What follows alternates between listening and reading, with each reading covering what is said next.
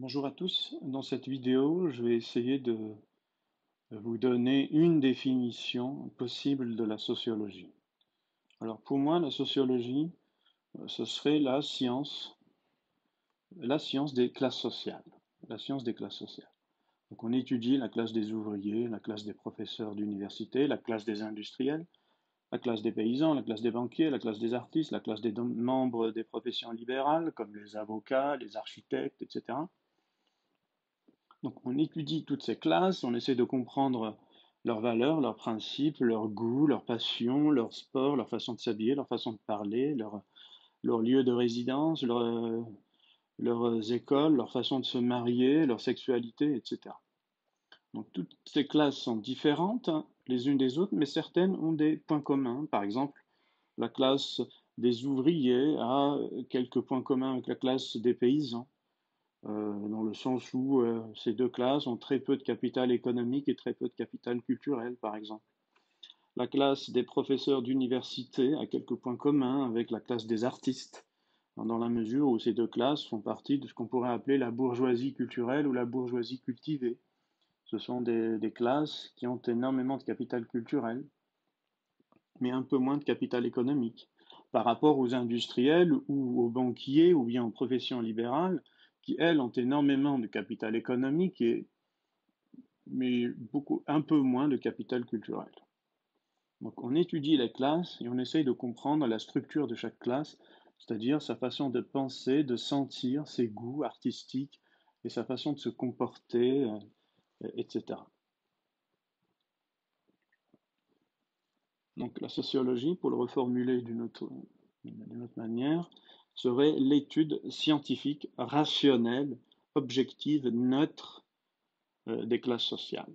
Donc on compare les classes sociales pour découvrir leurs points communs et leurs différences, découvrir les identités et les différences.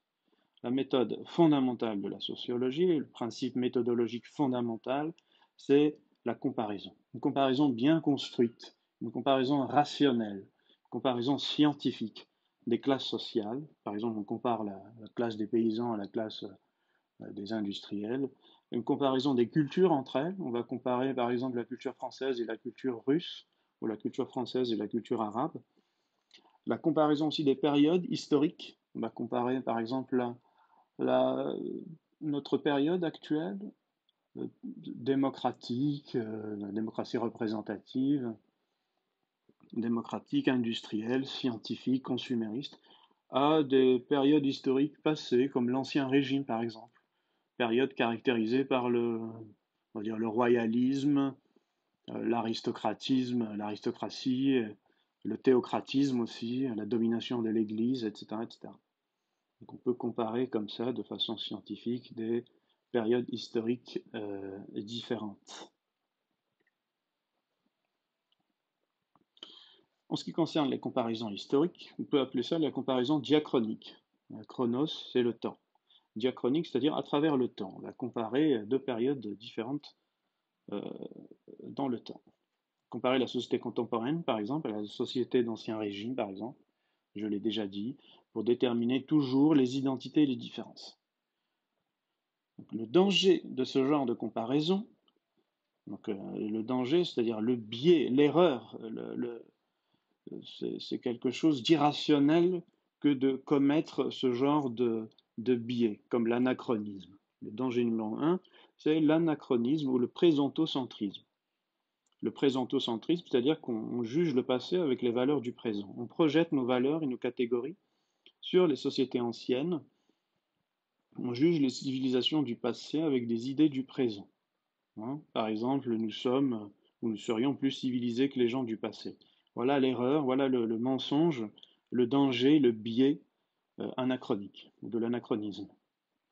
Le danger numéro 2, ce serait un peu le, conservatisme ou la nostalgie euh, stupide, le passocentrisme. Donc on va magnifier les sociétés passées pour mieux dévaloriser les sociétés actuelles. C'était mieux avant. On entend ce refrain chez les conservateurs, chez les réactionnaires. On juge le présent avec les valeurs et les catégories du passé. L'autre type de comparaison que l'on peut mener entre les cultures, les civilisations, etc., serait une comparaison euh, diatopique. Topos, c'est ce qui concerne le lieu, l'espace, la géographie. Donc on va comparer la société française d'aujourd'hui à la société russe actuelle, ou à la société japonaise, ou à la société arabe. On va comparer la société russe et la société japonaise, etc. Trois dangers pour ce genre de comparaison diatopique à travers l'espace. Danger numéro un, ethnocentrisme. Nous sommes supérieurs aux Arabes, aux Russes. Nous jugeons les autres avec les autres cultures avec nos valeurs et nos catégories. On projette nos propres valeurs et nos propres catégories sur les autres pour les inférioriser. C'est le, le cas typique du racisme, du colonialisme, de l'esclavagisme, du nazisme. Euh, nous sommes supérieurs, donc nous allons euh, exploiter, dominer, exterminer, etc. les autres. Danger numéro 2, c'est l'inverse, c'est l'altérocentrisme ou la glorification des autres cultures. Hein, par exemple, on pourrait dire les Russes sont plus solidaires que nous. Hein. Euh, valoriser les autres cultures et se dévaloriser soi-même. Il y a une sorte d'autoflagellation intellectuelle ou de masochisme comparatif, c'est-à-dire qu'on va juger notre société qui serait matérialiste, consumériste, avec les catégories des autres cultures, qui sont plus proches de la nature, plus respectueuses de l'environnement, etc. Le troisième danger, il me semble, c'est ce que j'appellerais l'idéologie raciste du clash des civilisations. La guerre des cultures, le clash des civilisations, la guerre entre l'islam et le christianisme, la guerre entre les arabes et les blancs, enfin, on appelle ça le clash des civilisations. C'est ce qu'on pourrait appeler le nouveau visage de la réaction xénophobe et raciste. Tous les racistes, euh, on ne parle plus aujourd'hui des lois de la nature et de la lutte des races, et on ne veut surtout pas parler euh, des lois de l'histoire et de la lutte des classes. Il ne faut surtout pas être marxiste ou communiste. Hein. Il y a un refoulement des classes sociales, il y a un oubli, euh, une dénégation des luttes de classe. Donc on préfère parler plutôt de clash de civilisation, accuser les autres, les arabes, les musulmans, les noirs, etc.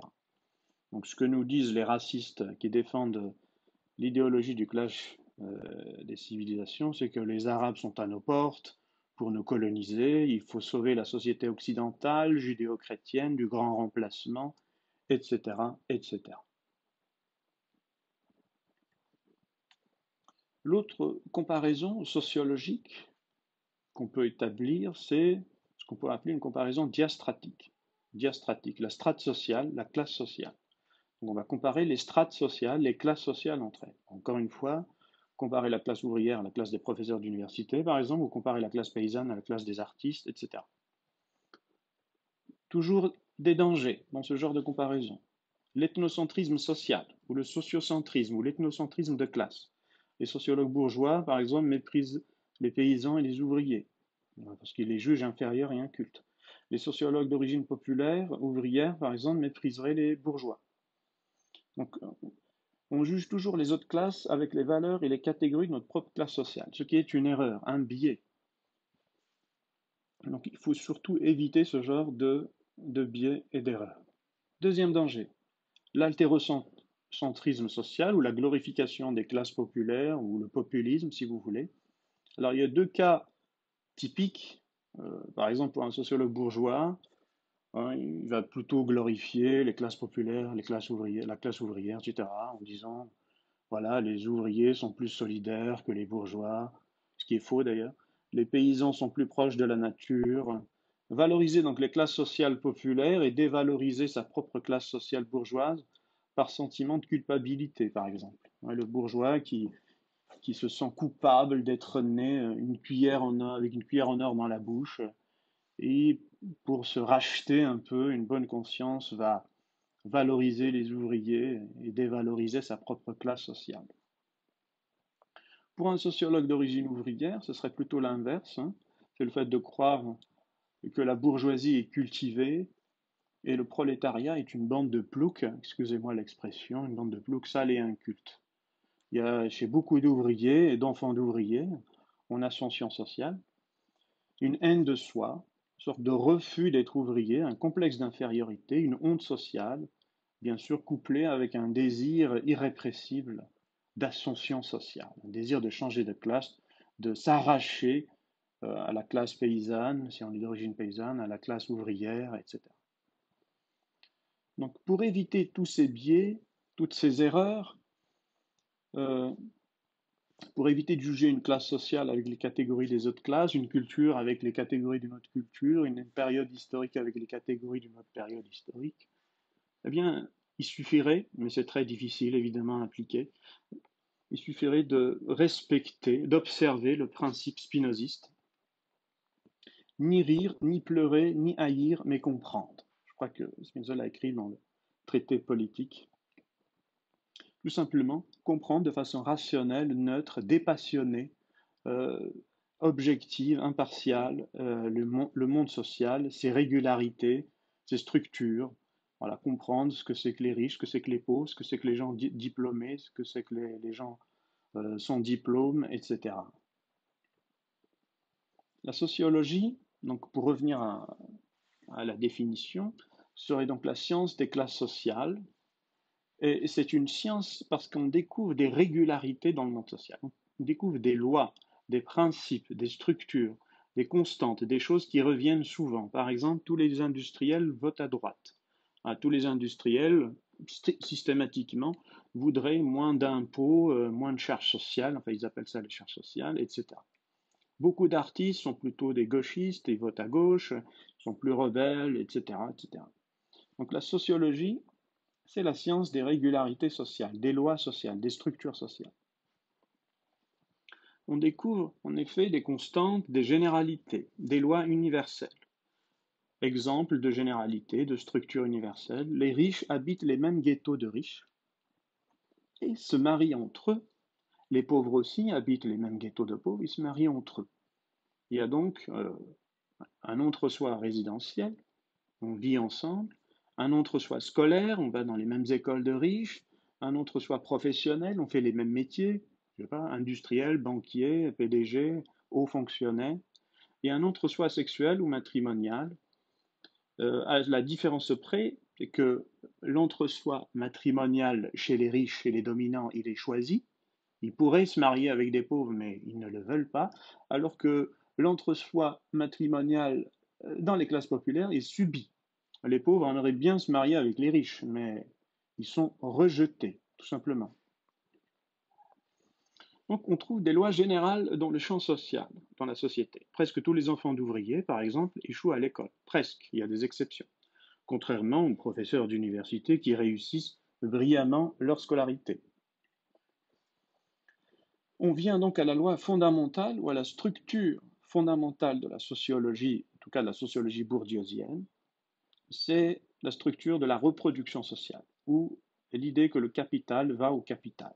Ici, l'expression le, capital va au capital, c'est l'idée tout simplement que les personnes riches transmettent leur argent à leurs enfants, les personnes cultivées transmettent leur capital culturel à leurs enfants, etc. Donc le capital va au capital. Il y a une reproduction sociale. Les enfants d'ouvriers deviennent des ouvriers, les enfants d'industriels deviennent des industriels, les enfants d'artistes deviennent des artistes, les enfants de philosophes deviennent des philosophes, les enfants de sportifs deviennent des sportifs. Enfin, pour aller vite, j'ai noté ici, parce qu'il y a des exceptions. Bien sûr, il y a des enfants d'ouvriers qui deviennent des industriels, il y a des enfants de paysans qui deviennent des artistes, etc. Il y a des exceptions, et d'ailleurs ces exceptions sont exploitées, utilisées par les dominants pour faire croire que la réussite des pauvres est possible, pour faire croire que l'échec des riches est fréquent et que tout n'est pas joué d'avance, ce qui est faux. Tout est, presque joué d'avance. C'est-à-dire qu'il suffit de connaître la classe sociale d'un enfant pour savoir euh, à peu près quelles sont ses chances de réussite scolaire, etc. Donc il y a une division du travail, il y a une division du travail, c'est-à-dire qu'il y a d'un côté des ouvriers, de l'autre des dentistes, des, des, enseignants, etc. Il y a une division du travail qui est liée à la propriété privée, qui est liée à l'argent, si vous voulez, qui est liée au capital économique. Ceux qui ont du capital économique ont le temps d'étudier, ont le temps de se former et donc deviennent des enseignants, des industriels, etc. Et ceux qui n'ont pas d'argent, ceux qui n'ont pas de capital économique, sont soumis aux nécessités matérielles, sont soumis aux nécessités brutales du travail, sont obligés de travailler pour survivre et donc deviennent, abandonnent leurs études très vite et deviennent ouvriers, employés, etc. Donc la société est divisée en classes sociales différentes et hiérarchisées. Il y a des classes sociales dominantes, et des classes sociales dominées, des classes sociales supérieures, des classes sociales inférieures. Cette division sociale se reproduit grâce à l'école émancipatrice, évidemment. Question, qu'en est-il des exceptions positives ou des réussites paradoxales? En effet, il y a des ouvriers, des enfants d'ouvriers qui deviennent professeurs d'université, des enfants de paysans qui deviennent médecins. Ici, c'est la problématique des transclasses ou des transfuges de classe qui est posée. Il y a des personnes qui changent de classe. D'ailleurs, dans les deux sens. Hein, il y a des enfants des classes inférieures qui euh, intègrent les classes supérieures, donc ils sont en ascension sociale, et il y a des enfants des classes supérieures qui sont en déclassement, euh, en appauvrissement, si vous voulez. Vous pouvez lire, pour comprendre cette problématique, La névrose de classe de Goljac et euh, Vincent de Goljac, donc, et les transclasses, pardon, S ici, les transclasses ou la non-reproduction de Chantal Jacquet. Donc, deux livres intéressants sur ce sujet. Qu'en est-il aussi, par ailleurs, des exceptions négatives, des échecs paradoxaux? Car il y a des enfants d'industriels ou d'enseignants en échec scolaire, par exemple. Il y a des classes en déclassement, en appauvrissement. Globalement, les mêmes schémas sociaux se reproduisent, avec des exceptions, bien sûr. Les mêmes structures sociales se reproduisent. Les riches ont des enfants riches et les pauvres ont des enfants pauvres, les personnes cultivées ont des enfants cultivés, etc. Donc le capital va au capital, c'est la reproduction des classes sociales. Cette reproduction s'explique par le déterminisme de classe, un déterminisme social. Le déterminisme ici signifie tout simplement qu'on est euh, influencé par notre classe sociale, mais plus que ça, on est conditionné, déterminé par notre classe sociale à penser, à désirer et à agir d'une certaine manière. Les enfants d'industriels, par exemple, ne pensent pas comme les enfants de paysans. Ils n'ont ni, les mêmes passions, ni les mêmes goûts, littéraires, ni les mêmes comportements à table, par exemple, etc. Les enfants d'industriels ne pratiquent pas le même sport euh, que les enfants d'ouvriers. Les enfants industriels jouent plutôt au golf, par exemple, euh, alors que les enfants d'ouvriers jouent plutôt au football, pour aller vite. Donc les enfants d'instituteurs, par ailleurs, n'ont pas les mêmes passions, les mêmes loisirs que les enfants de dentistes ou d'architectes. Ce ne sont pas deux classes différentes avec deux goûts, deux passions, des passions, des, des loisirs différents.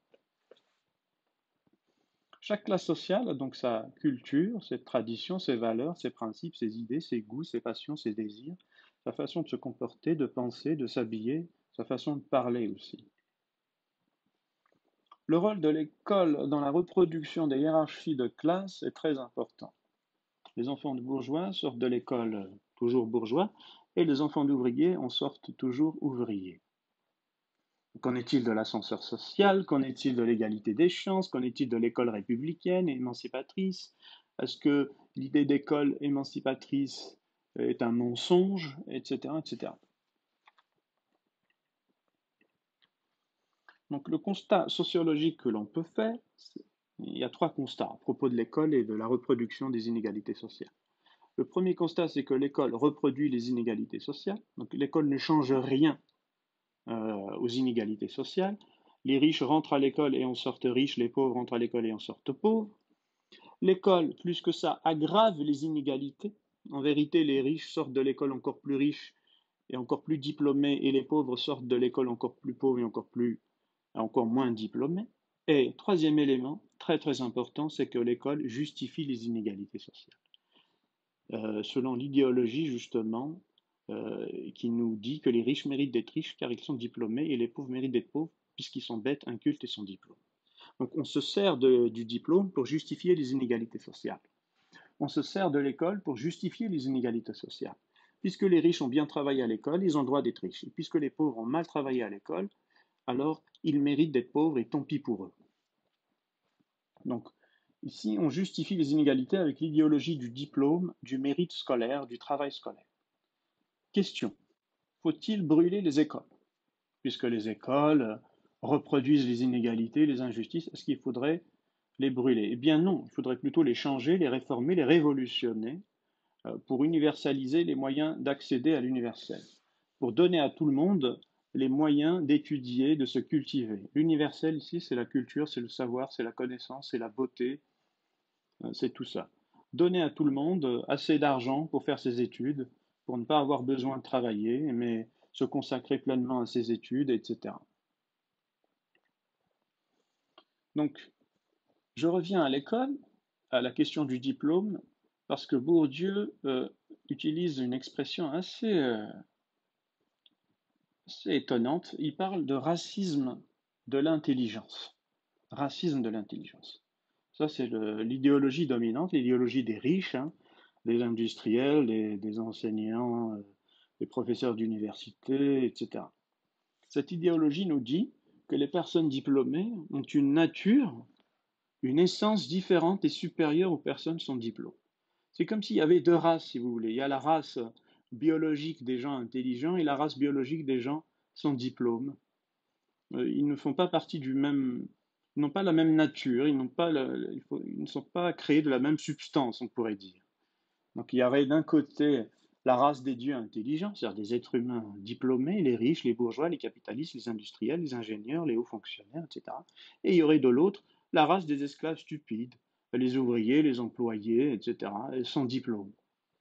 Donc c'est une idéologie extrêmement raciste et très méprisante. D'ailleurs, on parle de mépris de, classe. Hein.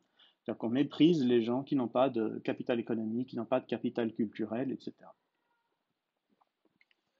J'en parlerai dans une autre vidéo plus en détail. Bourdieu distingue trois titres qu'on pourrait, que j'appelle moi les trois titres de la domination sociale, des hiérarchies sociales.